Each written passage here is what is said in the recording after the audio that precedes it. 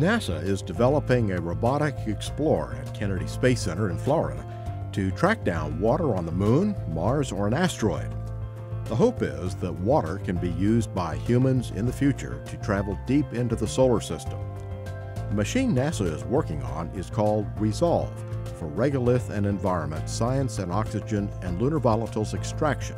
It is part drilling platform, part laboratory, mounted on a set of wheels.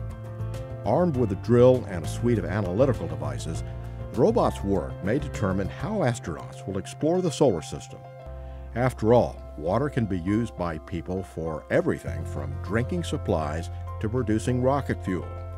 So instead of having to launch from Earth with all the supplies they would need, a human crew could go into space knowing that natural resources are already waiting for them. In its earthly form, the rover and its onboard instrumentation are about as tall as a person and weigh some 660 pounds. In its final configuration for the moon, the rover and its instruments will weigh about a third of that and be somewhat smaller since the moon's gravity is only one sixth that of the Earth's. While the ultimate destination is the moon in the near term, the team of engineers at NASA's Kennedy Space Center in Florida is focusing on a destination much closer to home Mauna Kea, Hawaii. Turns out the lava covered mountain soil is quite similar to that in the ancient volcanic plains on the moon. The team will take the rover to Hawaii and simulate a nine day mission on the moon.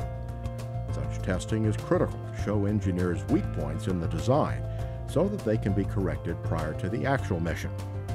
If the testing goes well, a flight model can be designed and launched into space later this decade.